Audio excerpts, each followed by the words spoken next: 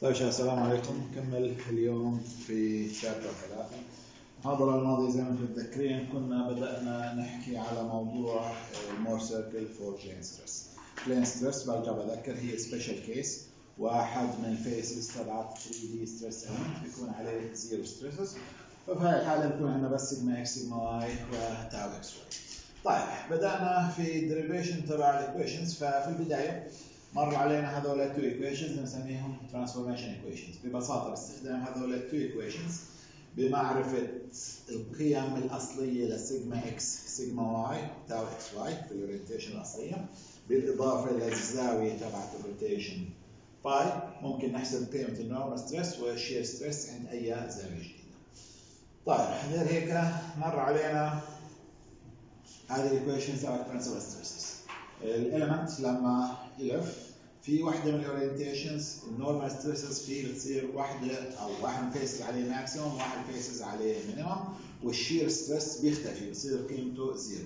هذه ال orientation سميناها principal orientation طيب عشان نحسب الزاوية تبع ال principal orientation نستخدم هذا ال equation وقيم ال principal stresses اللي هم نسميهم سيجما 1 سيجما 2 أو maximum و minimum بنحسبوا الثنتين باستخدام هذه ال equation وزي ما حكينا principal orientation by definition shear stress بتكون قيمته zero فبكون عندنا بس normal stresses ال maximum sigma 1 وال minimum sigma 2 اذا بنلف كمان 45 درجة من principal orientation. هيك بنحط element في ال maximum shear stress orientation. في ال maximum shear stress orientation ال shear stress يصير maximum أو minimum كمان مرة هون القيمتين maximum minimum هي نفس القيمة بس واحدة positive وواحده negative. وفي ال maximum shear orientation برضه في شغلة مميزة بتصير إنه ال normal stresses في كل الاتجاهات بتصير متساوية. ممكن تكون متساوية positive negative أو zero طيب. هسا كل هذا الحكي اللي مرت علينا ال equations تبعت بالمحاضره الماضية ممكن نحسبه ببساطة باستخدام Mohr circle فال Mohr circle ببساطه هي عبارة عن graphical method very convenient عشان من خلالها ممكن تعطينا representation ل state of stress بكل ال orientation تبعتها. وباستخدام Mohr circle ممكن تطلع ال principal stresses وال angle تبعها ال maximum shear stress وال angle تبعها وبرضه ممكن نساوي rotation يعني بدل transformation equations طيب كيف وصلنا أو كيف وصلوا لل Mohr stress ببساطة ال Mohr stress إجت من خلال هذول ال two equations اللي مروا علينا المحاضره الماضيه بناخذ ال equation الأولى بنربعها ناخذ ال equation الثانية بنربعها نجمعهم مع بعض فهيك ببساطة راح يصفي معنا equation تبعت دائرة.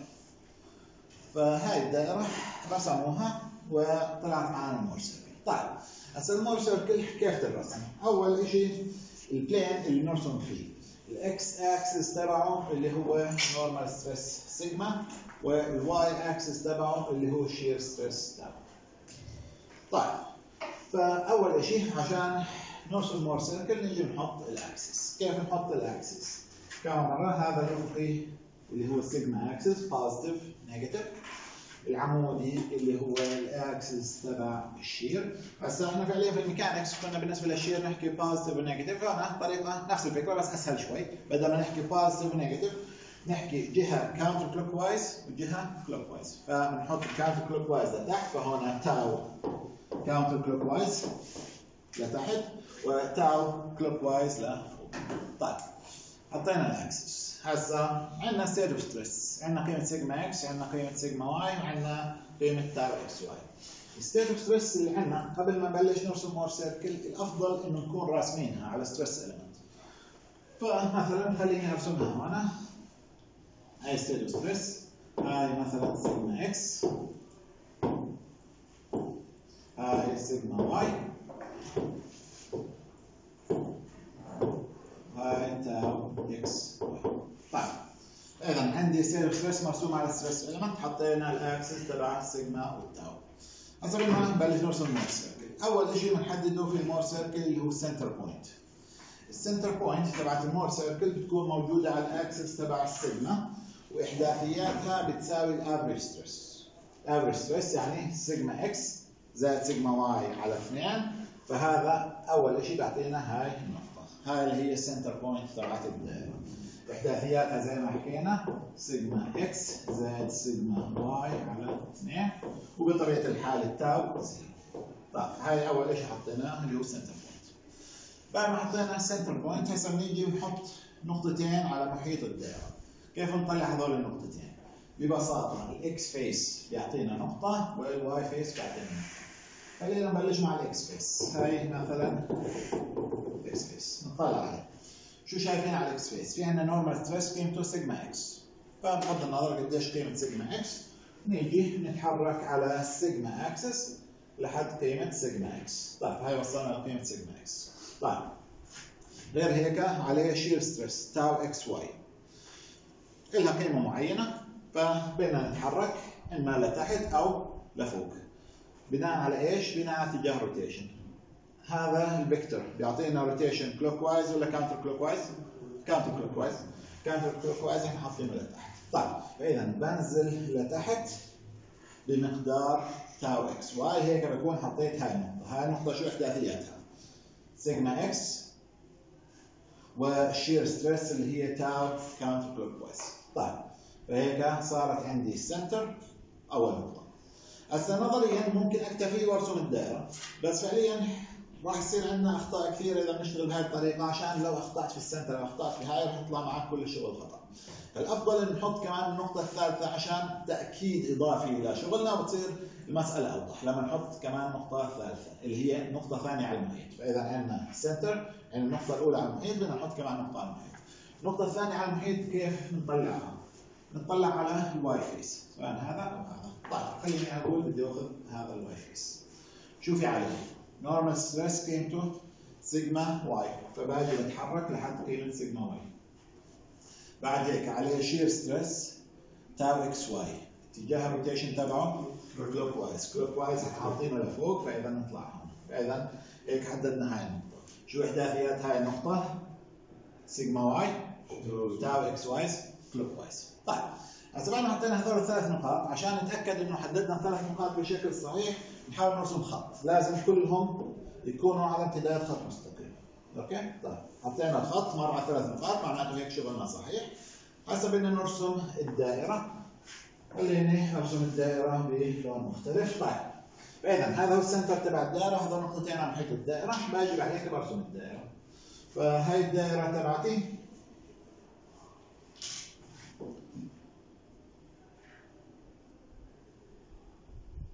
راح تكون بهذا الشكل. طيب هاي الدائرة اللي إحنا رسمناها فعليا تمثل لي state of stress في أي orientation طيب ال orientation الحالية مثلت من خلال هذه النقطتين. يعني ببساطة هذا الخط اللي إحنا شايفينه يمثل لي ال orientation الحالية.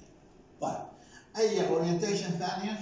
ببساطة راح يكون في عندي diagonal line طيب خلينا هسه نطلع على الاشياء اللي إحنا نعرفها مثلا إحنا تعرفنا على شغله سميناها principal stress لما الف ال element أحطه في ال principal orientation شو اللي بصير فيه؟ normal stresses تصير maximum و minimum وال shear stress zero طيب طلع هاي النقطة وهاي النقطة. فعليا هاي أكبر قيمة ل normal stress وعندها shear stress zero وهاي أصغر قيمة لل normal stress وعندها shear stress zero إذا ببساطة هاي النقطة اللي هي سيجما 1 اللي هي ال maximum وهاي النقطة اللي هي سيجما 2 وهذا الخط الأفقي اللي بوصل ما بين سيجما 1 وسيجما 2 يمثل principal orientation طيب غير عن principal orientation حكينا في عندنا maximum shear orientation يعني لو لفينا ايمت حطيناه في ال principal orientation بعد هيك لفيناه كمان 45 درجة. بنصير في ال maximum shear orientation شو اللي بصير في ال maximum shear orientation shear stress maximum minimum وال normal stress متساوي. متساوي على كل ال faces وقيمته بتساوي ال average stress طيب هاي ال average stress هاي ال maximum minimum shear okay؟ أكبر قيمة لل shear وعندها ال normal بيساوي ال average أوكي فإذا ببساطة هذا الخط العمودي بيمثل لنا ال maximum shear orientation. طيب فهسه خلينا ننتبه لشغله هذا الخط يمثل لنا ال orientation الحالية. الخط الأفقي يمثل لنا ال principal orientation. الخط العمودي يمثل لنا ال maximum shear orientation. هسه على stress element إحنا قديش حكينا فرق الزاوية ما بين ال principal وال maximum shear. 45 هنا 90 طيب هسه هاي النقطة وهاي النقطة اللي هي ال x face وال y face قديش الزاوية ما بين ال x وال y 90 وهنا قديش الزاوية ما بين هاي النقطة وهاي النقطة؟ 180 إذا نستنتج إنه الزوايا اللي إحنا بنشوفها هنا هي فعليا نفس اللي هنا بس مضروبة في اثنين. أوكي؟ فأي زاوية عندنا على ال element بنمثلها هنا بضعفها على ال Mohr circle فإذا من هذا هنا صفى إنه برضه ممكن نحسب أي زاوية بدنا إياها باستخدام Mohr circle باستخدام trigonometry طيب قبل حساب الزوايا خلينا نفكر كيف بدنا نحسب principal stresses طيب principal stresses هي سيجما 1 سيجما 2 هاي النقطة اللي هي إيش؟ ال center نسافر من هون لهنا اللي هو ال radius تبع الدائرة طيب ببساطة محتاج ال radius تبع الدائرة إذا عرفت ال radius ال center زائد ال radius بعطينا سيجما 1 ال center ناقص ال radius بعطينا سيجما 2 وال maximum shear ال radius okay فإذا يعني محتاج بس أحسب ال radius بطلع أي شيء ثاني طيب كيف بدي أحسب ال radius؟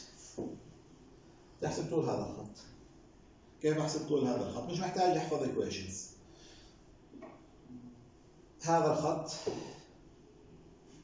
كم طوله؟ tau xy okay؟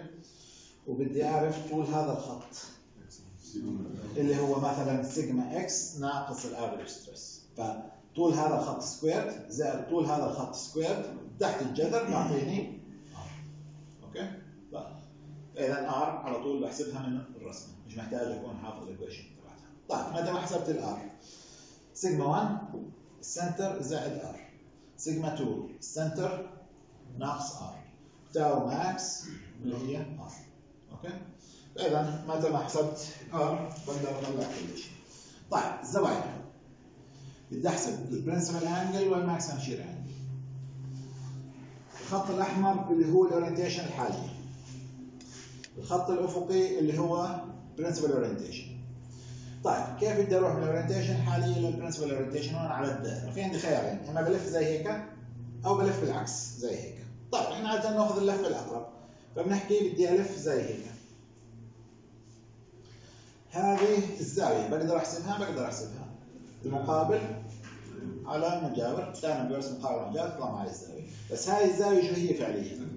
هاي اللي هي 2 phi اللي هي principal angle مضروبه في 2 عشان حكينا الزوايا هون كلها مضروبه في 2 طيب. maximum shear orientation وينها؟ هذا الخط العمودي يمثل لي maximum shear orientation كيف بدي أروح من ال orientation الحاليه ل maximum shear orientation؟ اما بلف زي هيك؟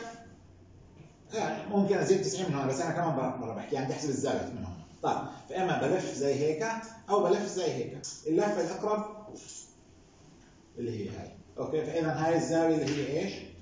2 phi s okay. أو اللي هي ببساطة 90 ناقص 2 phi okay؟ طيب إذا الزوايا ممكن أحسبها من الدائرة بشكل مباشر.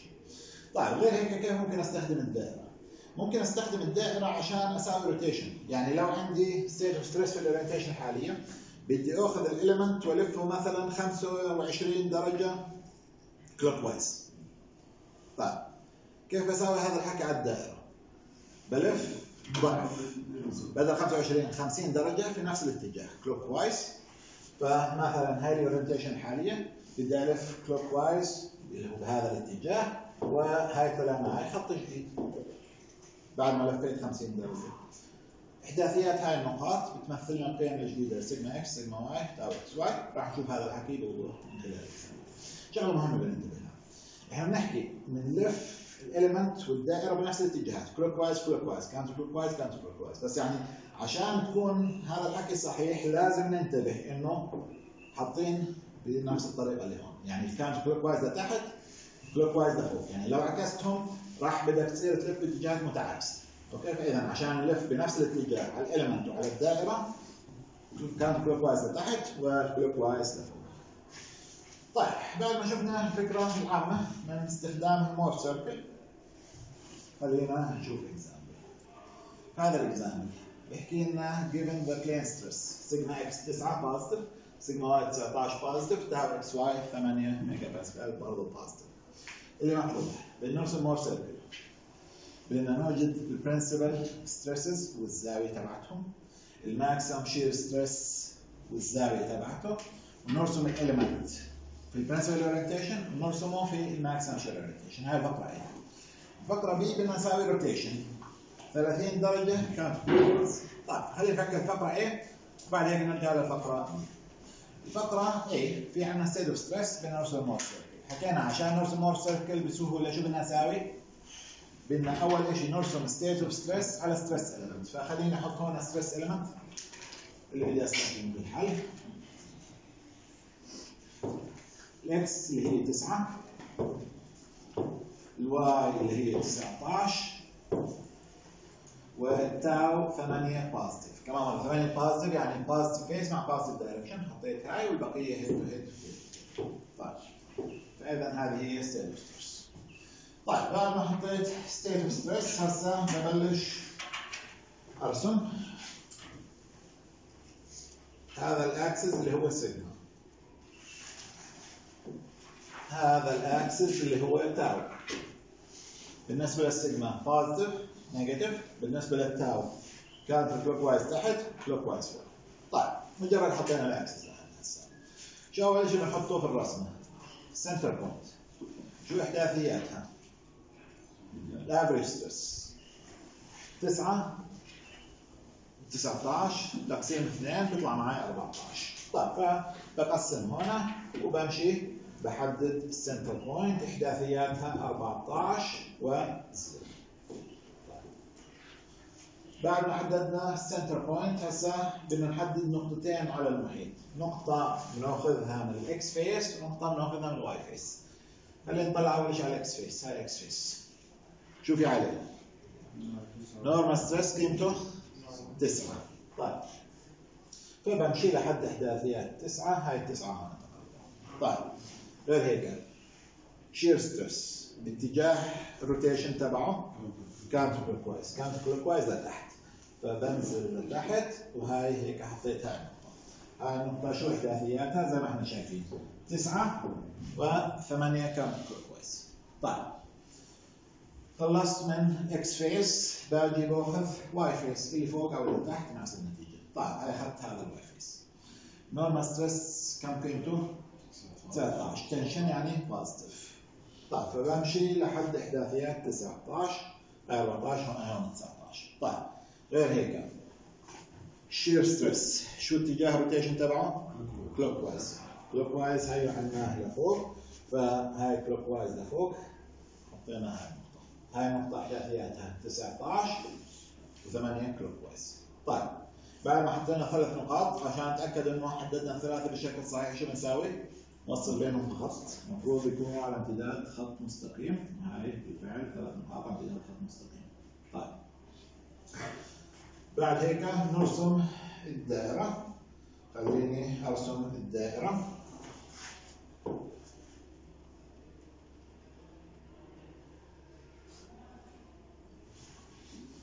طيب هاي رسمنا الدائرة زي ما شايفين. كمان مرة الدائرة بتمثل لنا state of stress في أي orientation طيب هسا شو اللي مطلوب منا؟ principal stresses والزاوية تبعتها maximum shear stress والزاوية تبعتها. أي شيء نحتاجه؟ نحتاج نعرف ال radius يعني ال radius داخل في كل الحسابات تبعتنا. اذا أول شيء بدنا نفكر فيه بدنا نحسب ال radius كمان من غير equations من الرقم هاي ال radius هذا بطلع هون نفس الشيء طيب خلينا نطلع هون بدي أحسب طول هذا الخط. طول هذا الخط بيساوي هاي المسافة squared كم هاي المسافة؟ 8 okay؟ طيب. زائد هاي المسافة من هنا. لهنا اللي هي فعليا 19 ناقص 14 وتصفي 5 فإذا 5 squared زائد 8 squared تحت الجذر بعطيني قيمة R اللي هي راح تطلع 9.43 هاي قيمة ال radius طيب طلعنا قيمة ال radius هسه خلينا نفكر شو الشغلات اللي بدنا اياها طيب principal stresses هاي سيجما 1 هاي سيجما 2 maximum shear stress نقطة ما يسمى minimum أو واحد اثنين مش فارق طيب شو قيمة ال principal stress sigma 1 ال radius ال center 14 زائد ال radius 9 فبيعطينا 23.43 طيب شو قيمة سيجما 2 ال center ناقص ال radius فهي بعطينا 4.57 شو قيمة tau max ال radius اللي هي plus minus 9.4 طيب هاي طلعنا كل القيم. tau max sigma 1 سيجما 2 طيب بدنا نطلع الزوايا. بدنا ال principal angle وبدنا ال maximum shear angle طيب خلينا نبلش مع ال principal angle هذا الخط هو ال orientation الحالي. هذا الخط اللي هو ال principal orientation كيف بدي أروح من هون لل principal orientation إما بلف زي هيك بس لفة طويلة أو بلف زي هيك. هاي هي اللفة القريبه طيب. بدي أحسب هاي الزاوية. كيف بحسب هاي الزاوية؟ tan inverse المقابل 8 مجاور 5 tan inverse 8 على 5 بيطلع معي هاي الزاوية. هي 2 phi p فبيطلع معي 2 phi p اللي هي 58 okay؟ فإذا ال principal angle اللي هي بقسمها على 2 29 طيب. الاتجاه. نفس اللي أنا شايفه هون. هنا كيف لفينا؟ clockwise فإذا clockwise okay؟ فإذا على ال element بدي ألف 29 درجة clockwise هيك بكون لفيت ال element حطيته في ال principal orientation طيب. maximum shear orientation هذا الخط بيمثلنا ال maximum shear orientation هسا عشان أروح من ال orientation الحالية اللي هي هذا الخط لل maximum shear orientation إما بلف هيك بس هاي اللفة الطويله أو بلف هاي الطريقة. طيب فاذا هاي الزاوية اللي هي 2 phi s شو قيمة هاي الزاوية؟ 90 ناقص القيمة اللي حسبتها فبتطلع 32 برضه نفس الشيء بقسمها على 2 16 شو الاتجاه؟ counter clockwise فهذه counter clockwise طيب. هسه بدنا نرسم ال element في principal orientation وبدنا نرسم ال element في ال maximum shear orientation خليني بدل ما نطلع الرسمات اللي تحت أرسم في المساحه اللي موجودة عندي. طيب هذه ال orientation الأصلية. طيب عشان أحط ال principal orientation شو مطلوب مني أسوي؟ ألف 29 درجة clockwise طيب خليني أجي أسوي هذا الحكي هاي الاكس اكسس الأصلي.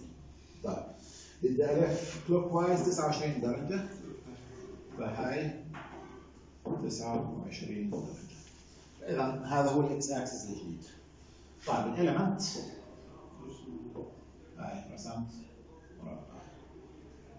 طيب شو قيم stresses اللي عندي؟ عندك 9.4 طيب هسه إحنا عارفينها. كقيم في واحد من ال faces راح يكون عليه 23 والثاني 4 وال shear stress zero عشان هاي principal orientation فيها ال shear stress طيب بس بدي أعرف انو face راح يكون عليه الأربعة انو face راح يكون عليه 23 كيف بعرف هذا الحكي؟ من الرسمة. طيب نطلع هون هاي هي ال orientation الحالية. هذه هي ال principal orientation إحنا كيف حكينا بدنا نلف؟ بدنا نلف زي هيك. فهاي النقطة. وين انتقلت؟ صارت هون. هاي النقطة اللي هي أي face تسعة اللي هو ال x face okay؟ فإذا ال x face شو صار عليه؟ سيجما 2 اللي هي أربعة. طيب فإذا هاي ال x face هيو فإذا هذا عليه أربعة point خمسة سبعة. والثاني اللي هو عليه سيجما 1 اللي هي قيمتها كم؟ 23.4 طيب اذا هيك هاي رسمنا element في principal orientation حطينا عليه principal stresses طيب نفس الشيء بدنا نرسم element في maximum shear orientation ونحط عليه stresses. طيب فخلينا نساوي نفس الشيء. قديش بدنا نلف؟ 16 أي اتجاه counter clockwise خلينا نرسمهم طيب هاي الاكس اكسس الاصلي هاي 16 هاي ال element بعد ما لفيت. طيب شو بدي أحط على هذا ال element؟ أول شيء normal stress على كل ال faces نفس القيمة. شو بتساوي؟ average 14 طيب اذا هاي هنا كله 14 14 طيب سهلة غير هيك بدي أحط عليه ال shear.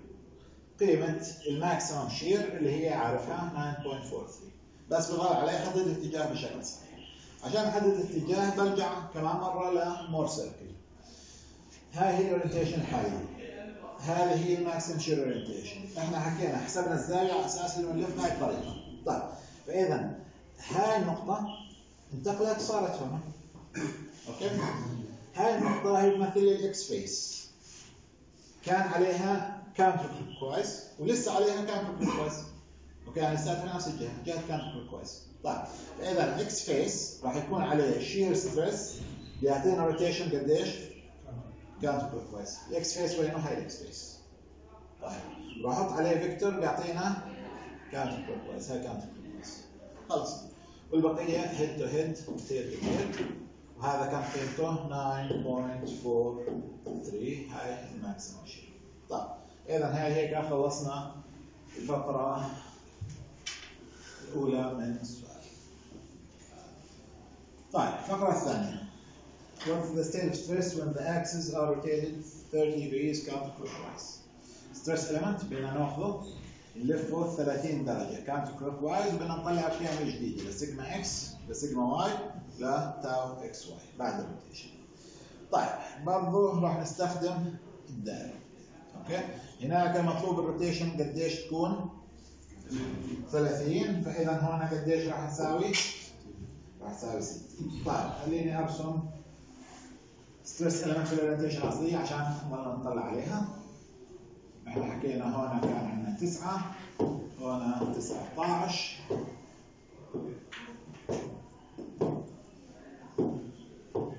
وهون 8 هاي هي ال orientation الاصلية بناء عليها رسمنا ال Mohr circle كمان مرة هذه ال Mohr circle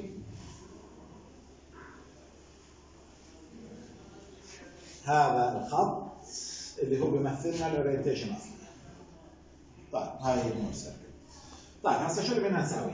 بدنا نساوي rotation على element بمقدار 30 درجة counter clockwise هذا الحكي لما ننفذه على الدائرة بنلف ضعف. فبدل ال 30 بنلف 60 وفي نفس الاتجاه.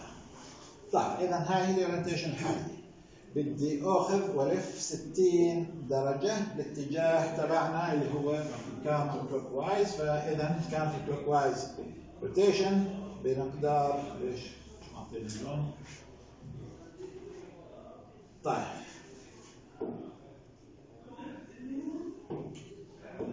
هاي 60 درجة. فهذا الخط انتقل صار طيب شو بدي اياه؟ بدي احداثيات نقاط هاي آه هذا هو الخط الجديد بدي احداثيات النقطة هاي النقطة كيف بطلع الاحداثيات؟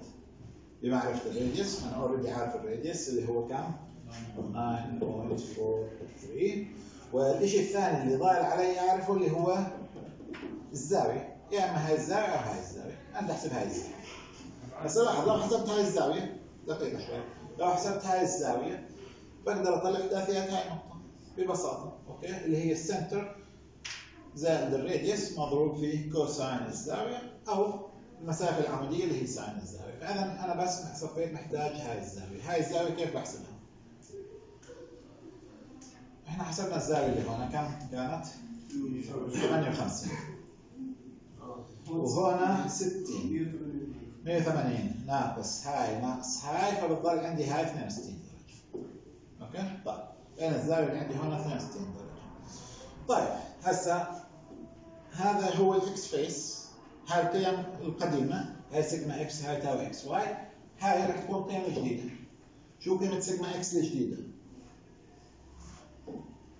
center زائد ال radius cosine 62 ال radius cosine 62 اللي هي المسافة بجمعها مع ال center بيطلع معك قيمة سيجما x الجديدة طيب تاو xy اللي هي المسافة العمودية okay هذه هي المسافة okay اللي هي ببساطه ال radius مضروب في sine 62 بعطيني تاو xy الجديده طيب سيجما x صارت معروفه تاو xy معروفه. شو ضل علي؟ سيجما y سيجما 2 اللي فوق اللي هي. فوق okay اللي هي. هاي طيب. هسه هاي نقطة كمان مرة اللي هي هاي انتقلت هون. فهذه اللي هي قيمة سيجما y الجديدة شو قيمة سيجما y الجديدة؟ ال center ناقص هاي المسافة. okay؟ ال center 14 ناقص ال radius cosine 62 بيعطيني قيمة سيجما y الجديدة okay؟ طيب. فإذا بناء على هذا الحكي خلينا نطلع على الأرقام اللي طلعت معنا. طيب إذا زي ما حكينا سيجما x اللي هي ال center زائد ال radius cosine 62 فطلعت 18.43 سيجما y ال center ناقص ال radius cosine 62 طلعت معنا قيمة سيجما y الجديدة وتاو xy اللي هي زي ما حكينا ال radius مضروب في sine الزاوية اللي هي 8.43 هذا الحكي هاي رسمناه هون على stress element كمان مرة هذا stress element بعد ما لفينا قديش؟ 30 درجة. طيب. سيجما x الجديدة زي ما شفنا اللي هي 18 tension سيجما y الجديدة اللي هي 9 0.57 برضه tension طيب. وتاو xy إما يعني بتطلع على إشارتها هنا أو بتطلع عليها من الرسمه فوق. كمان مرة خلينا نرجع نطلع عليها من الرسمه فوق عشان أسهل. طيب يعني لاحظ هاي ال face تبع x هي صار okay؟ فال shear stress على ال x face شو اتجاهه؟ counter clockwise. طيب فبنيجي هنا هذا هو ال x face فهاي حطيت عليه vector بيعطيني counter clockwise rotation والبقيه هيك هيك طيب اذا هيك state stress بعد 30 درجه rotation طيب اذا زي ما إحنا شايفين يعني باستخدام Mohr circle كل الحسابات اللي كنا محتاجين فيها equations كبيره صفت سهله وبنطلعها من الدائره نحتاجش يعني نكون حافظين ولا equation بس بدنا نكون نرسم الدائره بشكل صحيح ونستخدم معلومات trigonometry اللي عندنا عشان نحسب الزوايا والاطوال وكل شيء. طيب هناك شفنا كيف بنطلع ال principal stresses ال maximum shear stress ونرسم Mohr circle في حالة plane stress اللي هي special case. واحد من faces ما عليهوش stresses zero فضل عندنا sigma x sigma y tau x y. طيب بدنا نفكر هنا في 3 dimensional state stress. إحنا حكينا بشكل عام state stress ممكن نمثلها على stress element عبارة عن مكعب وكل ال faces ممكن يكون عليها stresses normal stress أو shear stress. طيب هسا الشيء الكويس انه إحنا هنا في ال machine design مش راح نتعامل مع cases تبع 3 D بشكل كثير بس يعني بدنا نتعرف عليها بشكل مختصر كيف ممكن نتعامل معها. طيب في حاله انه عندنا 3 dimensional stress برضه في عندنا orientation بنسميها principal orientation. بس كيف نوصل لها؟ في حالة ال 2 D عشان نوصل لل principal orientation كنا نلف حوالي الزي اكسس بمقدار زاوية معينة نصير في ال principal orientation. هون لاحظ إنه بنحكي على 3 D ففي عندنا 3 axes عشان نوصل لل principal orientation بدنا نلف ثلاث لفات. بدنا نلف حوالي ال x، بدنا نلف حوالي ال y، بدنا نلف حوالي ال z. بعد ما نسوي ثلاث لفات على stress element بنحطه في ال principal orientation. لما نحط 3 D element في ال principal orientation شو اللي بيصير؟ نفس الفكرة اللي هناك. ال shear بيختفي يصير قيمته zero ويصير عندنا بس normal stresses هذه ال normal stresses بنسميها principal stresses بس هناك كم قيمة لل principal stress راح يكون عندنا؟ ثلاث قيم. okay؟ ثلاث قيم بنسميها سيجما 1 سيجما 2 سيجما 3 فهذول هم 3 principal stresses في حاله 3 D لاحظوا في الحالة اللي كنا نحكي فيها 2 D كنا نحكي فيها عندنا بس سيجما 1 سيجما 2 طيب هسا هذول الثلاث قيم. بدنا ننتبه إنه هنا مش راح يعني نفكر بال logic تبع maximum منهم هو فعليا عندنا rule لما بدنا نسمي اني سيجما 1 اني سيجما 2 اني سيجما 3 ببساطه بالشكل التالي هاي ال axis تبع stress sigma أول قيمة من اتجاه ال positive دائما نسميها سيجما 1 بنروح في اتجاه ال negative اللي بعدها سيجما 2 وبنروح كمان اللي بعدها سيجما 3 okay؟ فإذا سيجما 1 أكبر قيمة أول قيمة من الاتجاه positive وهذه أول قيمة من اتجاه negative sigma 3 طيب كيف بدنا نطلع قيم ال three principal stresses هسا هون عشان نطلع ال three principal stresses ما بنقدرش نطلعهم مباشرة باستخدام Mohr circle زي ما كنا هناك كيف بدنا نطلعهم؟ نطلعهم باستخدام هذه ال equation هذه ال equation هي عبارة عن third order equation sigma squared sigma sigma cube sigma squared sigma وال terms اللي فيها sigma x sigma y sigma z tau x يعني ففي عندنا ست قيم. تبعت 3 normal stresses و 3 shear stresses نعوضهم هنا. وبنحل هاي ال equation نطلع 3 roots تبعها. هي third order equation بنطلع لها 3 roots ال 3 roots ببساطة هي قيمة سيجما 1 سيجما 2 سيجما 3 أول واحدة باتجاه positive sigma 2 اللي بعدها سيجما 2 اللي بعدها أول واحدة سيجما 1 اللي بعدها سيجما 2 اللي بعدها سيجما 3 طيب. فإذا باستخدام هاي ال equation بنحلها ونطلع 3 roots تبعتها. بيطلع معنا قيم سيجما 1 سيجما 2 سيجما 3 بعد ما طلعنا هذول الثلاث قيم ممكن نيجي بعد هيك نرسم ال Mohr circle ال Mohr circle تبع 3 D كيف تنرسم ال Mohr circle 3 D إحنا عندنا 3 قيم سيجما 1 سيجما 2 سيجما 3 هاي ال sigma axis هاي ال tau axis فبنيجي نحط. أول نقطة عندنا سيجما 1 الثانية سيجما 2 الثالثه سيجما 3 بعد ما حطينا ثلاث نقاط على ال sigma axis نرسم ثلاث دوائر دائرة ما بين سيجما 1 سيجما 2 دائرة ما بين سيجما 2 سيجما 3 ودائرة كبيرة ما بين سيجما 1 سيجما 3 okay؟ طيب. فهذه هي ببساطة ال Mohr circle ل 3 D. طيب. لفينا ال element ثلاث لفات حطيناها في ال principal orientation طيب. غير عن ال principal orientation في عندنا شيء بنسميه maximum shear orientation كيف نوصلها؟ بدنا نلف 45 درجة. فإذا لفينا 45 درجة حوالي x 45 درجة حوالي y 45 درجة حوالي z هيك بنكون حطينا ال element في ال maximum shear orientation وهون لاحظ إنه ال maximum shear راح يكون عندنا ثلاث قيم. هذا الحكي باين من خلال هنا يعني لاحظ كل دائرة هي فعليا بتمثل لنا plane واحدة بتمثل لنا x y plane واحدة ال y z واحدة ال x z ال radius تبع كل دائرة بيمثل لنا قيمة ال maximum shear بتنتج عن واحدة من ال rotation إحنا حكينا فيها 3 rotations 45 حوالي x 45 حوالي y 45 حوالي z كل واحدة منهم تعطينا قيمة maximum shear اللي هي هذا الحكي مبين معنا هون على الرسمة. مثلا هاي الدائرة شو قيمة ال maximum shear اللي بينتج عنها؟ اللي هي ال radius تبعها. طيب هاي القيمة نسميها tau 1 2 هاي الدائرة ال radius تبعها اللي هو برضه القيمة الثانية لل maximum shear والدائرة الكبيرة ال radius تبعها اللي هي القيمة الثالثة لل maximum فإذا يعني هون صفى عندنا بدل ما نحكي قيمة واحدة هي نفسها positive و negative هون عندنا ثلاث قيم. قيمة بتنتج من rotation حوالي الاكس اكسس أو الاكسس 1 قيمة بتنتج من rotation حوالي الواي اكسس أو الاكسس 2 وقيمة بتنتج من rotation حوالي الزي اكسس أو الاكسس 3 هذول الثلاث قيم بينحسبوا ببساطة. 1 2 اللي هي سيجما 1 minus sigma 2 على 2 بعطينا ال radius 2 3 اللي هي هاي ناقص هاي على 2 بيطلع معنا ال radius تاو 1 3 اللي هي أكبر وحدة اللي هي سيجما 1 ناقص سيجما 3 على 2 بيطلع معنا ال radius طيب هسه هذول الثلاث قيم اللي طلعناهم. هم ثلاث قيم لماكسيمم شير في 3 different planes. إحنا عادة نهتم لإيش بنسميه الابسولوت ماكسيمم شير شو هو الابسولوت ماكسيمم شير؟ اللي هي القيمة الأكبر من ثلاث قيم. شو هي القيمة الأكبر من ثلاث قيم؟ دائما اللي هي تبعت الدائرة الخارجية. okay؟ فيعني الراديوس تبع الدائرة الكبيرة الخارجية هو أهم راديوس بالنسبة لنا عشان هو بيمثل لنا الابسولوت ماكسيمم شير طيب.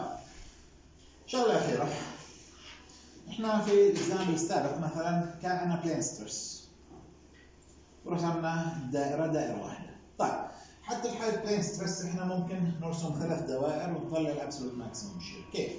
إحنا مثلا في ال example السابق هاي اكسس تبع سيجما هاي axis تبع tau كان في عندنا مثلا نقطة هنا okay؟ سميناها سيجما 1 ونقطة هنا مثلا سميناها سيجما 2 طيب سيجما 3 وين؟ zero sigma 3 zero okay؟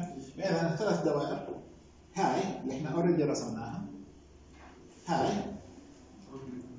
اللي هي الثانية. وما بين ال zero sigma 1 اللي هي الثالثة. فإذا absolute maximum shear في example زي اللي سويناه قبل شوي. شو بيساوي؟ ال radius تبع الدائرة الكبيرة. ال radius تبع الدائرة الكبيرة اللي هو ببساطة سيجما 1 على 2 okay؟ في ال absolute maximum shear اللي هو بيساوي سيجما 1 على 2 في حالة زي ال example اللي طيب. بعد ما حكينا عن stress stress transformation نيجي هسه لموضوع strain strain شو هو؟ strain ببساطة زي ما إحنا عارفين هو عبارة عن non-dimensional measure بنعبر من خلاله عن ال deformation اللي بينتج لما نطبق stress على ال solid material فاحنا عم نتعامل مع solid materials لما نطبق عليها stress بصير فيها deformation بدل ما نقيس ال deformation مثلا نحكي بالمليمتر أو شيء زي هيك بنستخدم expression بنسميه strain الميزة تبع strain إنه non-dimensional طيب هسا زي ما صنفنا stress لنوعين normal و shear راح نصنف strain لنوعين. normal strain مرتبط مع ال normal stress و shear strain مرتبط مع ال shear stress normal strain نعطيه ال symbol epsilon راح نحكي هون على ال case تبع 2 okay طيب. ابسلون في عندنا اتجاهين x direction و y direction ال normal strain بيعبرنا عن تغير في الأطوال. okay؟ ممكن يصير عندنا تغير في الطول في ال x direction أو في ال y direction فإذا على أساس ممكن نعرف إنه في عندنا epsilon x و epsilon y strain في ال x direction strain في ال y direction strain في ال x direction شو بيساوي؟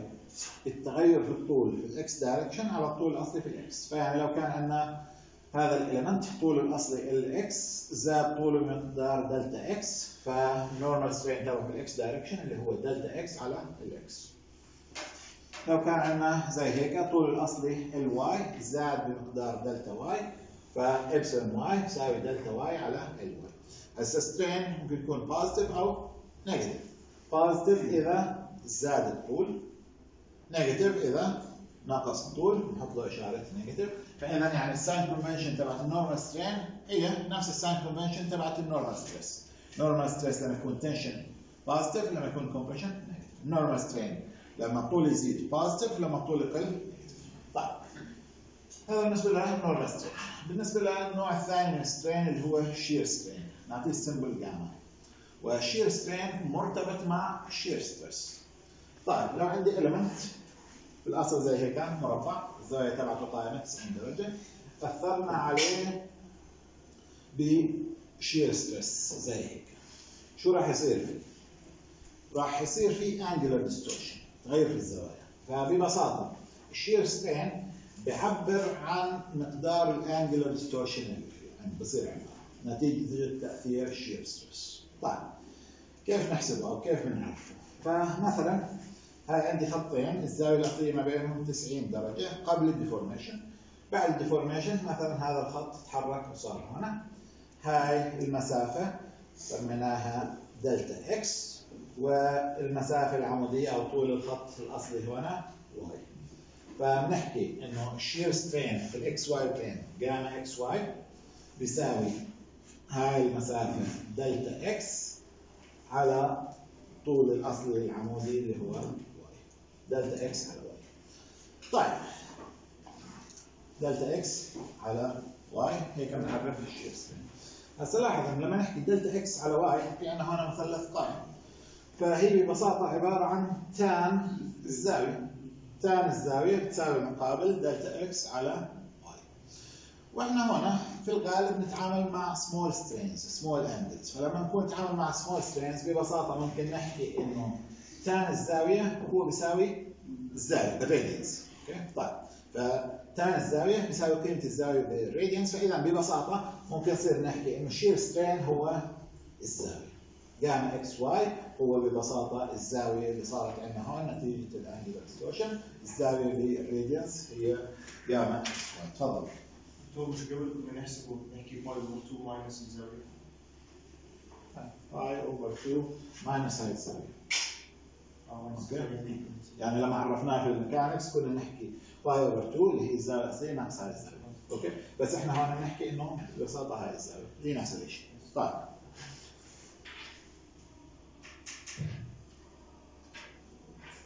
طيب شو العلاقة ما بين stress و strain؟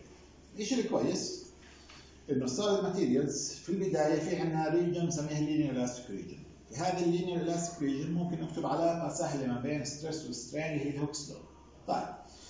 Hooke's law إحنا شفنا صيغته البسيطة لما حكينا عن ال materials اللي هي بتحكينا بحالة ال normal stress سيجما بتساوي Young's modulus مضروب في ال normal strain في حالة shear stress تاو بيساوي G اللي هو ال shear modulus of elasticity مضروب في جاما اللي هي ال shear strain طيب.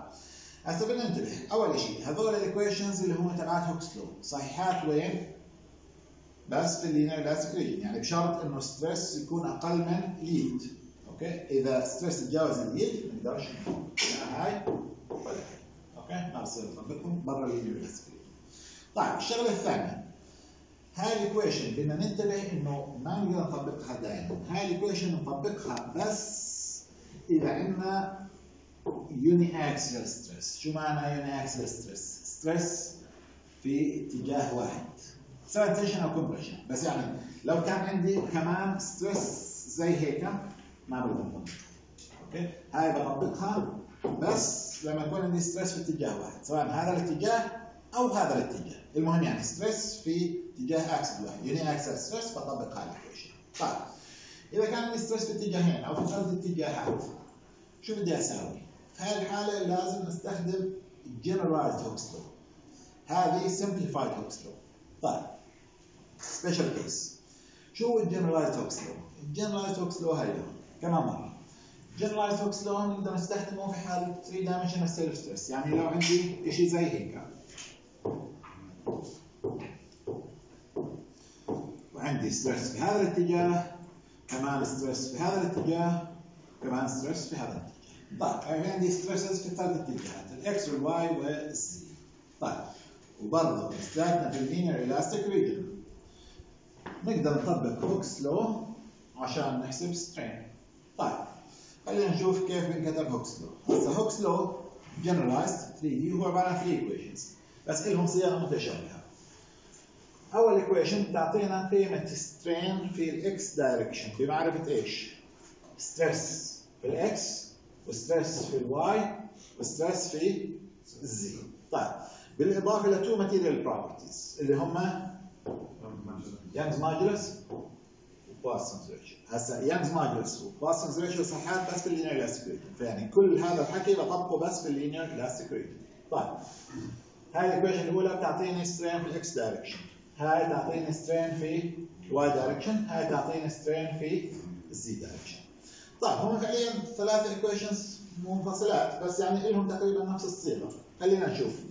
مثلا ال equation الاولانيه بتحكي لك عن إبسلون x واحد على E في عندنا هنا سيجما x وبعدين ناقص Poisson's ratio y و z اللي بعدها إبسلون y وهنا سيجما y ضل عندنا هون x و z هذه إبسلون z فهنا سيجما z وهنا ضل عندنا x و y طيب. هسه ال equation اللي كنا نستخدمها دائما اللي هي سيجما بتساوي E في إبسلون. من وين إجت؟ من هون. يعني لو مثلا هاي zero وهاي zero. okay؟ طيب. أو يعني بدي احكي الواي والزي زيرو أو الاكس والزي زيرو شو بصير؟ خلينا ناخذ مثلا ال equation الاولانيه لو ما فيش عندي غير sigma x وهذه zero وهذه zero فكل هذا ال term راح. فشو ظل عندي؟ epsilon x بتساوي 1 على E في sigma x اللي هي هاي ال equation okay؟ طيب. اذا هاي ال equation اللي كنا نستخدمها ما نقدر نستخدمها غير لما يكون عندنا uniaxial stress إذا عندنا أكثر من stress component سواء اثنين أو ثلاثة لازم نيجي على generalized Hooke's طيب.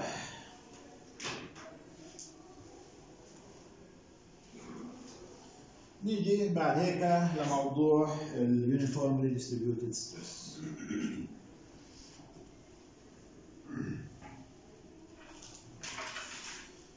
طيب عشان نحسب stress في عندنا cases سهلة. نحسب stress إنه ببساطة بيساوي ال force على ال area يعني نفترض إنه stress اللي عندنا uniform على ال cross section وهاي ال assumption تبعت ال uniform stress ممكن نستخدمها مع ال normal وممكن نستخدمها مع ال shear بس في شروط معينة.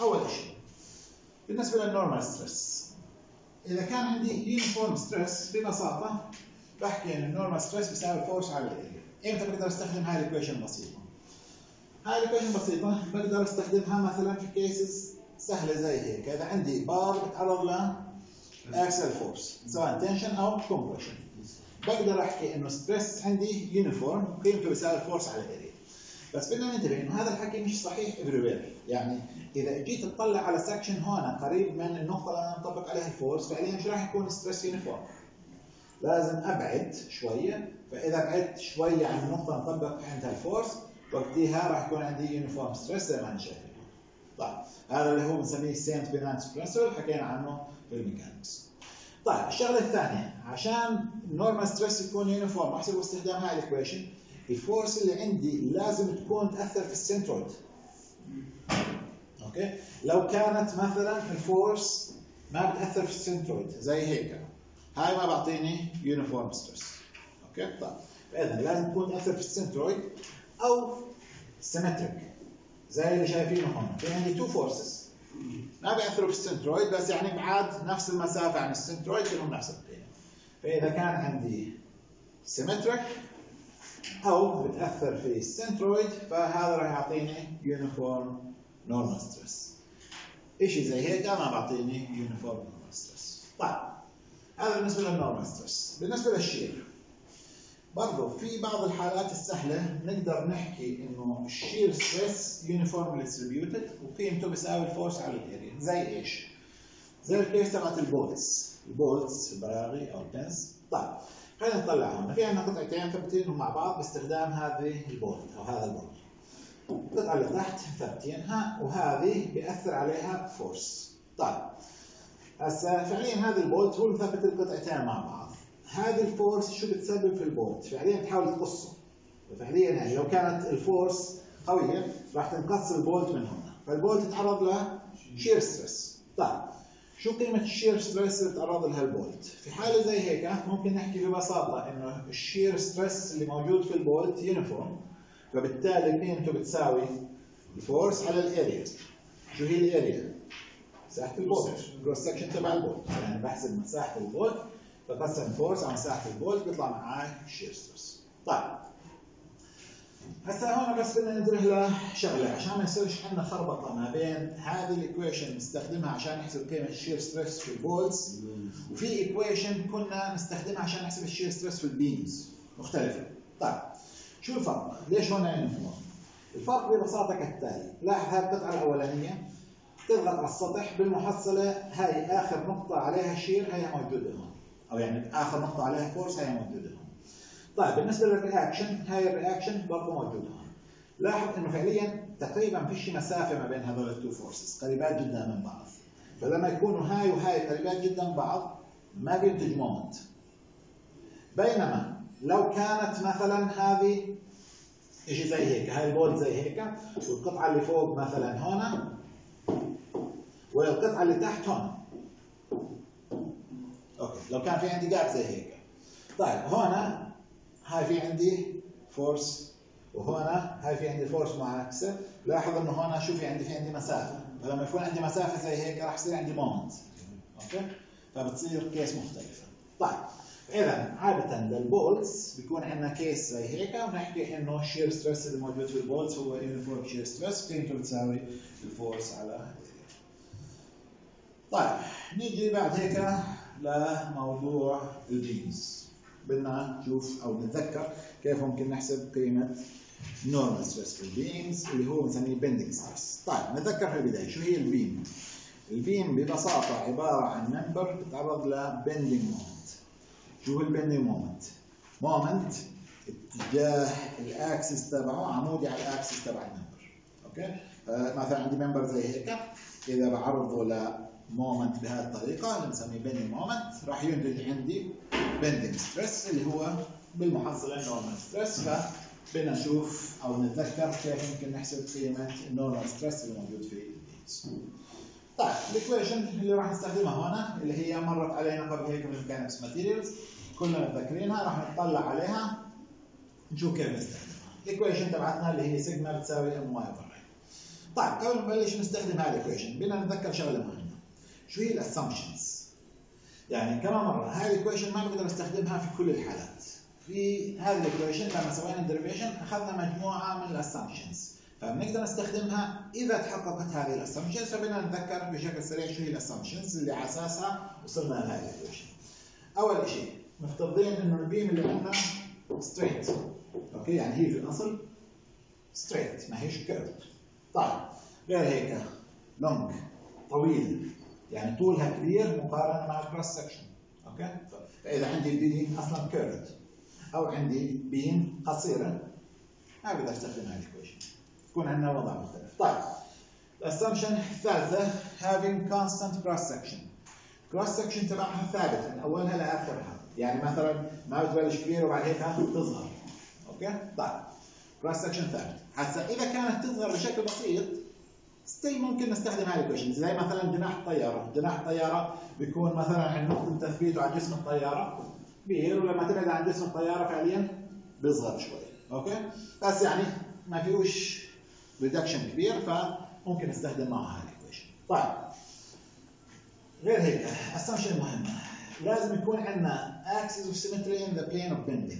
هذه ال equation نستخدمها في حالة ال symmetric bending شو اللي مقصود بال symmetric bending هذه ال beam لما نطلع عليها من هنا بدنا نكون شايفين ال section تبعنا إنه symmetric يعني مثلا ال section تبعنا لما نطلع عليه من هنا نشوفه زي هيك. فهي في عندي symmetry. بينما لو ال beam لما نطلع عليها من هنا شفت ال section تبعها مثلا شيء زي هيك. نطلع عليه من هون شفت ال section تبعها شيء زي هيك. هذا ما هوش symmetric ما في شيء عندنا axis of symmetry في ال plane تبع ال bending فهذه لها طريقة مختلفة equation مختلفة اللي هي non symmetric beams طيب اذا هذه ال equation تبعت ال symmetric beams طيب غير عن المجموعة الأولى ال assumptions ال material لازم تكون isotropic يعني لها نفس ال properties في كل الاتجاهات. Homogeneous متجانسة و linearly elastic هاي شغلة مهمة. ال equation هاي صحيحه بس في ال linear elastic region يعني بعد ما يصير yielding أو stress اذا تجاوز yield strength ما بقدر أستخدم هاي ال equation بس في ال linear elastic region طيب آخر شيء مفترضين إنه ال beam تتعرض بس ل moment ما في شيء عندي shear ما في شيء عندي axial هسا هل وجود ال shear أو ال axial بخلينا ما نقدر نستخدم هاي ال equation لا still نقدر نستخدمها بشرط إنه يعني ال shear يكون صغير مقارنة مع ال moment. ال axial يكون صغير مقارنة مع ال moment. Still نقدر نستخدم هاي ال equation. طيب. مفترضين عندنا beam. تعرض له bending moment زي ما إحنا شايفين. حاطين ال moment في ال positive sense يعني بعطينا curvature لفوق طيب هاي ال equation تحكي لنا قيمة ال normal stress sigma بيساوي negative negative لها علاقة بال sign convention هسه راح نحكي عنها. M في y over I M قيمة ال moment اللي عندنا y اللي هي المسافة العمودية من ال neutral axis ال neutral axis وين بيكون موجود؟ عند ال centroid فالمسافة العمودية من ال neutral axis لاي نقطة. بعوضها هون عشان تعطيني قيمة stress عند هاي النقطة. على I I اللي هي ال moment of inertia تبع ال cross section حوالي ال neutral axis اللي هو فعليا موجود عند ال centroid طيب. هسه إشارة الناقص. ليش حاطين إشارة الناقص؟ عشان نحافظ على ال sign convention يعني مثلا لو عندي beam زي هيك تعرض ل moment بهذا الاتجاه هذا positive moment وبدي أحسب مثلا قيمة stress عند هاي النقطه هاي النقطه موجودة؟ فوق ال neutral axis يعني y تبعتها لفوق positive إذا positive moment positive moment وفي عندي إشارة negative من برا. فهذا شو بيحكي لنا؟ إنه stress negative negative يعني compression okay? فهي نطلع لما يكون moment زي هيك هاي النقطة اللي فوق ال neutral axis راح تكون compression بينما لما أخذ نقطة تحت بعوض y بال negative فبتروح ال negative مع negative وبحكي لي إنه النقاط اللي تحت ال neutral axis راح تكون تعرض ل tension طيب إذا بالنسبة لإشارة ال negative اللي هون إحنا حرين نستخدمها ولا لا؟ يعني يا إما بنستخدمها وبنعوض ال moment positive أو negative وال y positive أو negative أو ما بنستخدمهاش نهائيا أنا عادة هيك بشتغل. باجي بحسب M y over I okay؟ وبعدين بتطلع بشوف حسب اتجاه ال moment. النقطة اللي عندي هل تعرض ل tension أو compression بقرر لحالي ليش؟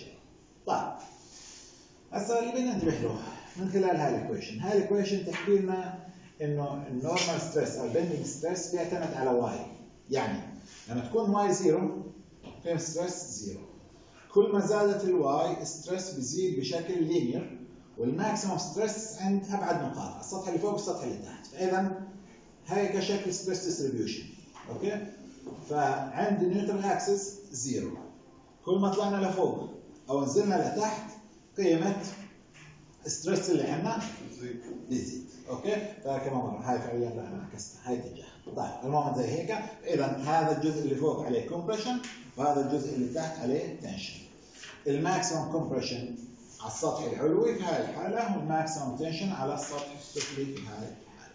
طيب إحنا في ال design بهمنا دائما قيم ال maximum ليش؟ عشان بدنا نتاكد إنه ال maximum ما يتجاوزش ال material اللي هو اللي هو ال yield أو شيء زي هيك طيب فإحنا دائما بهمنا إنه نعوض y أكبر قيمة ممكنة اللي هي المسافة من هنا للسطح العلوي أو للسطح السفلي فإحنا عادة equation بدل ما نكتبها M y over I عادة نكتبها M c over I شو هي السي؟ سي اللي هي y max okay وهذا ال equation هي فعليا تعطينا قيمة sigma max فاذا sigma max اللي إحنا دائما يهمنا اللي هي ال maximum stress تكون على السطح العلوي أو على السطح السفلي أو نفس القيمة على السطح العلوي وعلى السطح السفلي. اللي هي تنحسب M c over طيب هسه هذه ال equation اللي عندنا. بنعيد هنا كتابتها بطريقه أسهل للتعامل. اللي هي كيف؟ بدل ما نحكي M c over I نحكي إنه sigma max بتساوي M على Z شو هي ال Z؟ Z شيء بنسميه section modulus وقيمته بيساوي؟ ببساطة I على C. I تقسيم C بنسميها section modulus Z. okay شو ال units تبعته راح تكون؟ I مثلا ب millimeter to the power 4 و C اللي هي مليمتر فإذا راح تكون مثلا millimeter to the power 3 هاي ال units تبعت section modulus millimeter to the power 3 centimeter to the power 3 أو meter to the power 3 طيب. ف M على Z بيعطينا قيمة ال maximum stress هسه إحنا ليش نكتب ال equation بهاي الصيغة بدل ما نكتبها بهاي الصيغة. هسه بهاي الصيغة بدنا معلومتين. بدنا قيمة سي وبدنا قيمة I هون بدنا قيمة ال section modulus هسه هاي القيم. إحنا عاده بنلاقيها في ال tables يعني إحنا بنستخدم standard cross sections beam C channel دائرية I beam أو what لها قياسات مختلفة موجودة في الجداول. وإحنا لما بدنا نروح على الجدول ندور على beam مناسبة. بدل ما نروح ندور شو قيمة سي وشو قيمة I خلاص بنروح على الجدول وعلى طول نطلع قيمة Z Z وبنجيب قيمة Z بنعوضها بال equation بيطلع معنا قيمة ال maximum stress okay؟ فاذا إحنا هذه هي الصيغة الأهم بالنسبة لنا إنه ال maximum stress بيساوي ال moment على Z اللي هي ال section modulus وال section modulus هسه راح نلاقي إنه موجود في الجداول. طيب. هسه فعليا في الجداول راح نلاقي قيمة Z كمان راح نلاقي قيمة I طيب يعني ليش حط لنا قيمة Z وقيمة I؟ إحنا حكينا اللي بهمنا هون قيمة Z. ليش كمان بحط لنا قيمة I ال moment of inertia؟ بحط لنا قيمة I ال moment of inertia عشان نستخدمها في حسابات ال deflection. يعني إذا بدنا نحسب stress نأخذ قيمة Z عشان أسهل نحسب stress باستخدام Z. بينما إذا نحسب قيمة ال deflection تبع ال beams، إذا بتتذكروا ال equations تبعت ال beam deflection في ال mechanics وراح نحكي عنها كمان مرة هون. دائما ال equations تبعت ال deflection بيدخل فيها ال moment of inertia okay؟ فعشان هيك في الجداول. راح نلاقي القيمتين. قيمة Z وقيمه I قيمة Z بتهمنا عشان نحسب stress وقيمة I بتهمنا عشان نحسب ال deflection هذا الحكي راح مر علينا في الرابعه طيب الجداول. عندنا هون في الكتاب مجموعة من الجداول. خلينا نطلع عليها. فكل واحد يفتح كتابه يشوف الجداول اللي عنده. في عندنا هون ثلاث جداول. A6 A7 A8 فهذه ثلاث جداول.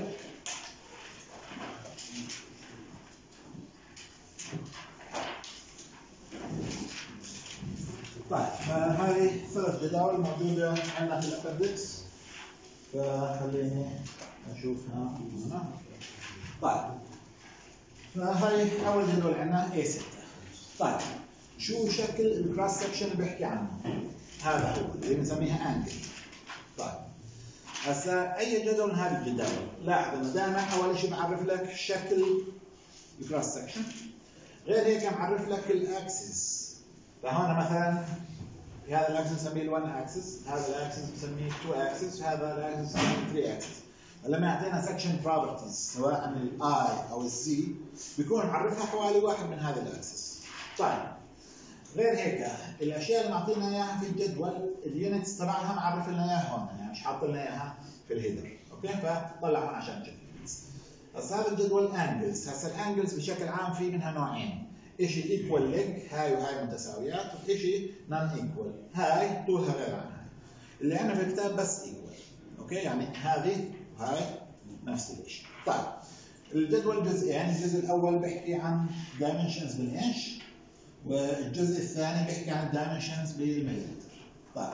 هون أنا بحكي لك 25 في 25 في 3 ال leg الأولى 25 sorry اكتبش معنا طيب. ال leg الأولى 25 ال leg الثاني 25 ملم وثلاثه اللي هي ال thickness اذا 25 في 25 في عندنا thickness ثلاثة في عندنا قياس ثاني thickness أربعة في عندنا thickness خمسة. طيب اذا أول شيء ال size الأبعاد بالمليمتر.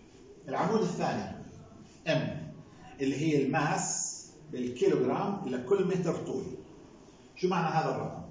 يعني إذا بجيب هذا ال section 25 25 في 3 بجيب قطعة طولها متر. راح يكون وزنها 1.11 كيلو جرام فهي ال mass لكل متر طولي. طيب بعد هيك A اللي هي ال cross section area وهون معطينا ال area بالسنتيمتر squared طيب بعد هيك moment of inertia حوالي ال 1 1 axis اللي هنا تبعته بالسنتيمتر to the power 4 k radius gyration اللي هنا تبعته بالسنتيمتر Z اللي هي ال section modulus اللي حكينا عنه اللي هنا تبعته بالسنتيمتر to the power 3 y اللي هي المسافة لل centroid بالسنتيمتر وآخر شيء بيعطينا k كمان مرة ال radius gyration هاي حوالي ثلاثة يعني لاحظ هذول كلهم حوالي axis واحد وهاي حوالي ال axis ثلاثة. مش معطينا ال axis اثنين ليش؟ عشان واحد واثنين. بما إنه هاي ال leg وهاي ال leg متساويات فسواء أخذنا ال properties حوالي ال axis واحد أو حوالي ال axis اثنين هي نفس الشيء okay؟ axis ثلاثة هو ال axis المايل ولاحظ بالنسبة لل axis ثلاثة هو بس معطينا قيمة ال k عشان فعليا يعني هاي اللي بدي أحطها عادة بحطها زي هيك. okay؟ ما بحطها بهاي الطريقة. فهو فعليا بهمنا ال k حوالي ثلاثة axis عشان ال k radius gyration نستخدمه في ال buckling يعني لو ضغطنا على هاي فعليا هي في الغالب راح تساوي buckling حوالي هذا ال axis تفضل؟ أيوه. بالميتر يعني هي معرف هنا ال units كمان مرة فبترجع هنا كل شيء معرف شو ال units تبعته قصدي إنه بدي أستخدم ال mass بدي اضربها بال هي mass per متر كيلوغرام كيلوغرام لكل متر فاذا هذه واحد point كذا كيلوغرام لكل متر okay؟ فكل واحدة ال unit تبعتها معرفه في الجدول. طيب شوف الجدول اللي بعده. اي صار هون بحكي على C channel أو C cross section طيب. هذا ال dimension نسميه A هذا ال dimension نسميه B. المسافة X اللي هي المسافة من هذا ال face لل centroid طيب هذا ال axis نسميه واحد هذا ال axis نسميه. اثنين okay؟ فال properties هنا إما بعطينا ال properties محسوبة حوالي ال axis واحد أو ال properties محسوبة حوالي ال axis اثنين. okay؟ كمان مرة. ال axis اللي هنا اللي هو موازي لل moment axis. Okay؟ يعني كمان مرة. لما يكون عندي moment زي هيك بأخذ ال properties تبعت اثنين. لما يكون عندي moment زي هيك بأخذ ال properties تبعت واحد. بس هون بننتبه لشغله هسه هاي أنا لو فعليا جيت حطيتها بهذه الطريقة وطبقت عليها force من فوق يعني ال moment تبعها زي هيك حوالي الواحد. بس هل هي symmetric؟ لا okay. اذا هاي ما هيش symmetric إذا بحطها بهذه الطريقة وأطبق عليها ال load من فوق. okay فإلها equations مختلفة. كيف بستخدمها بهذه الطريقة وتكون symmetric عادة بحطوا ثنتين. يعني لو حطيت واحدة زي هيك واحدة قبالها زي هيك بقدر أستخدم ثنتين بهذه الطريقة symmetric هسه عشان تكون symmetric هاي عادة تنحط بهذه الطريقة. نحطها بهذه الطريقة ونحط عليها ال force من فوق. فوقتها بتصير ال rotation حوالي أي اكسس اثنين اكسس طيب. A و B هسا الجزء الأول بالإنش. خلينا نروح على الجزء الثاني اللي هي بالمليمتر. A في B ثنتين بالمليمتر القياسات المختلفة يبلش أصغر قياس 76 ملم في 38 كنت كل ما تنزل لتحت ال size أكبر. طيب العمود الثاني اللي هو mass كيلو جرام لكل متر طولي فمتر من هاي يكون وزنه 6.7 كيلو جرام تفضل. نحسب طولها كامل يعني نجمع له طول ال beam. لو بدك تحسب وزن ال beam اللي عندك. طولها 10 متر. تضرب. 10 متر في وزن أو ال mass تبعت يعني المتر أطوالها كاملة نحسب مش بس. لا لا عندك طول ال beam. شو معنى طول ال beam؟ طول البيم. هذيك ال cross section طول. Length طيب. t اللي هو thickness اللي معطينا اياه بالمليمتر طيب. A. cross sectional area. I. ال moment of inertia حوالي اكسس 1 rate of حوالي اكسس 1 section modulus حوالي اكسس 1 اكسس 2 نفس الشيء. مومنت من انرجيا rate of section modulus وآخر شيء المسافة x. أوكي؟ كل واحدة من هذول كمان مره قبل ما تاخذها بدك تنتبه شو ال units. أوكي؟ هاي ال units معرفين هون. على. طيب آخر جدول عندنا اللي هو A8 A8 يحكي على tubes دائرية. في هذه القياسات بإنش و I'm sorry. هاي القياسات بالإنش وهاي بالملي كمان مرة ال dimension في الأول اللي هو ال diameter والثاني اللي هو ال wall thickness أوكي ال diameter وال wall area moment of inertia radius of gyration section modulus واخر شيء moment of inertia. أوكي؟ بدنا ننتبه لل units تبعتهم زي ما إحنا شايفين. طيب. بعد ما طلعنا على الجداول اللي عندنا آخر example example سريع عشان نكون خلصنا الموضوع اللي عندنا شو في عندنا في هذا ال example.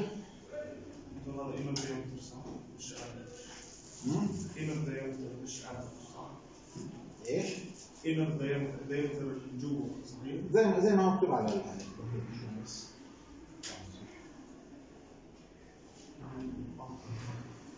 طيب. طيب عموما ممكن نخلي الإكزامبل للمحاضرة الجاي.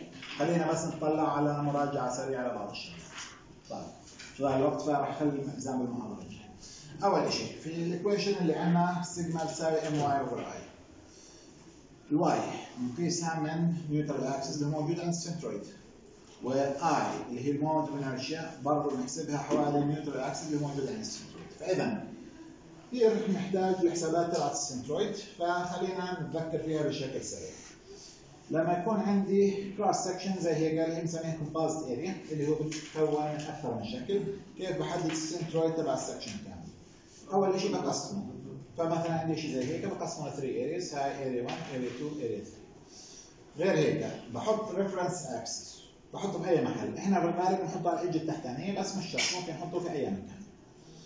ما حطينا reference axis بنطلع المسافة من reference axis لل centroid تبع كل area لوحدها. فلل centroid تبع area 3 y bar 3 هاي y bar 2 هاي y bar 1 طيب بعد هيك y bar اللي هي المسافة من ال reference axis لل centroid تبع الشكل كامل بيساوي A1 في Y bar 1 زائد A2 في Y bar 2 زائد A3 في Y bar 3 على مجموع ال areas. طيب. هسه هاي الفكرة برضه مش شرط نسويها جمع ممكن يعني في حالات يكون أسهل ما نطرح. مثلا عندي شكل زي هيك مستطيل ومفرغ جواته دائرة هاي الدائرة مش موجودة في ال center. يعني لو كانت في ال center خلص ال centroid معروف. طيب بس لو عندي شيء زي هيك بدي أحط ال centroid تبع هذا الشكل كامل. هذا أسهل شيء أقسمها. مستطيل. ناقص دائرة. بطلع مساحة المستطيل بطلع مساحة الدائرة. بحط reference axis المسافة لل centroid تبع المستطيل y bar 1 المسافة لل centroid تبع الدائرة y bar 2 بعد هيك بحكي y bar اللي هي المسافة لل centroid تبع الشكل كامل. بيساوي A1 y bar 1 ناقص A2 y bar 2 على A1 ناقص A2 طيب بعد ما نحدد ال centroid بنحط ال neutral axis عند ال centroid. ولما نحسب ال moment of inertia نحسبه حوالي ال neutral axis. طيب فمثلا لو عندنا زي هيك هاي cross section وبدنا نحسب ال moment of inertia لهذا فهذا بتقسم ل هاي اللي هي ال flange الفوقانية الويب العمودية وال flange التحتانية. ال moment of inertia للشكل كامل بيساوي ال moment of inertia للجزء الأول زائد ال moment of inertia للجزء الثاني زائد ال moment of inertia للجزء الثالث. طيب كيف نحسب ال moment of inertia؟ بس بيعتمد على الشكل هون الشكل عندنا مستطيل زي ما إحنا عارفين المستطيل ال moment of inertia هاي بيساوي 1 على 12 b h cubed b اللي هو الضلع اللي موازي للاكسس و اتش اللي هو الضلع اللي عمودي على ال axis. طيب هسه هذه ال equation كمان مرة. بقدر أستخدمها عشان أحسب ال moment of inertia حوالي ال axis اللي مار في ال centroid بينما لو بدي أحسب ال moment of inertia حوالي axis برا لازم أطبق ال parallel axis theory شو بتحكي لنا ال parallel axis theory ال moment of inertia تبع هذه ال area حوالي الاكس أكسس أول شيء بيساوي I x bar شو هي I x bar لكم 12 اتش زائد ال area في y bar square شو هي y bar المسافة من ال axis لل center هاي بنسميها parallel axis طيب نرجع نطبق الفكرة هون. هاي قسمناها واحدة اثنتين ثلاثة. هاي لاحظ إنه بنحسب الموج انرجي لهاي حوالي إكس اكسس اللي هو مش مار في ال centroid ونفس الشيء لهاي فإذا هنا وهنا لازم اطبق ال parallel axis بينما بالنسبة لهاي 1 على 12 اتش طيب. هسه ممكن برضه هاي نقسمها بطريقه ثانية ممكن تكون شوية أسهل. هسه هذا الشكل إحنا ممكن نقسمه لهذا المستطيل الخارجي. ناقص هذول المستطيلين. فبنحكي إنه الموت انرشيا تبع هذا الشكل كامل يساوي الموت انرشيا تبع هاي. ناقص الموت انرشيا تبع هذول الاثنين ولاحظ هنا بالنسبة لهاي وبالنسبة لهاي ما بحتاج طيب إذا هذا حكي يعني very basic لازم تكونوا متذكرينه وعارفين كيف تتعاملوا معه example كملوا المحاضرة.